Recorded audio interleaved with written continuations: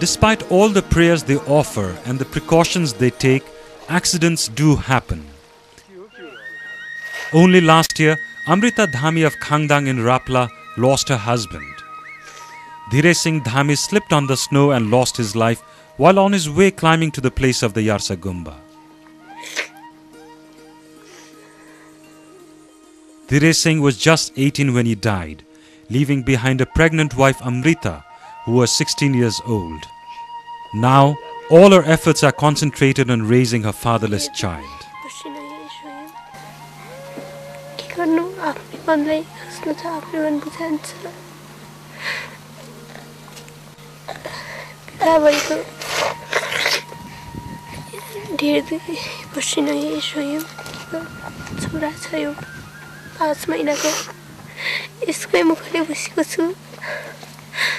दोहोरो छोरो भने दोहोरो छोराको छोराको मुखले रहन्थ्यो दोहोरो छोरो नु यो उयो हो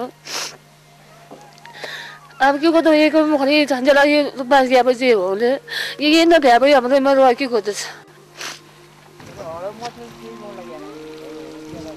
Within a year of this tragedy, another accident took place.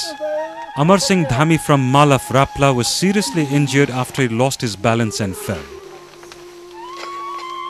Fortunately, the village health worker was also in the group collecting Yarsa Gumba.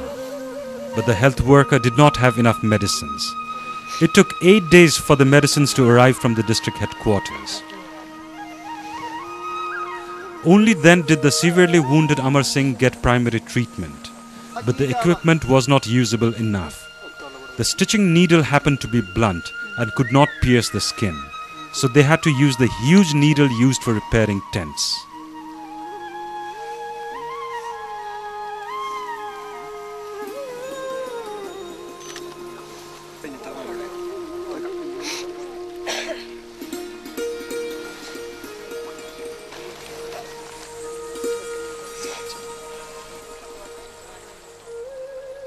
People compete with each other while collecting Yarsa Gumba.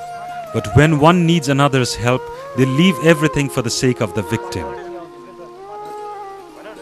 This meeting is deciding when Amar Singh should be carried down for further treatment.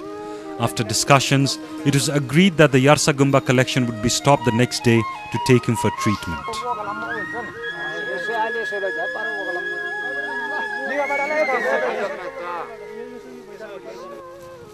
Carrying someone with a fractured leg over steep trails made slippery by the snow is torturous for all.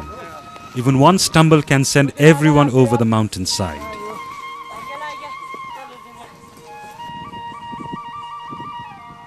Breathing is very difficult because of the lack of oxygen at such a height. The relatives and the neighbors were tired, but they were still courageous and helpful.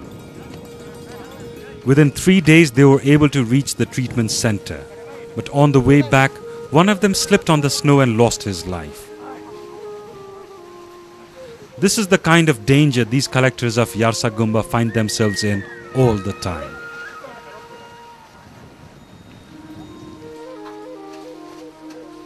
Although the Yarsa Gumba trade has had a great impact on the lives of the people, most of them do not know where it is marketed or what it is used for. In the absence of proper government regulations, the intricate channel of the Yarsa Gumba trade is not easy to understand. As a result, Nepali collectors have to rely on the Chinese market and businessmen.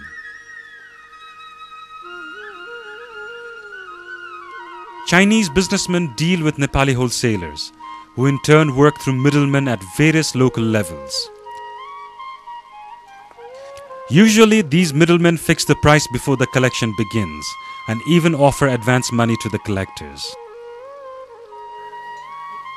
Given the profits made by the middlemen at different levels, the actual collectors have not been able to get a proper price for the Yarsa Gumba. There are no statistics on the Yarsa Gumba trade in Nepal. The government had prohibited trade in Yarsa Gumba some time back. However, it withdrew the ban two years ago and allowed the trade to resume on payment of 20,000 rupees per kilo as royalty. At that rate, the government should be earning millions of rupees.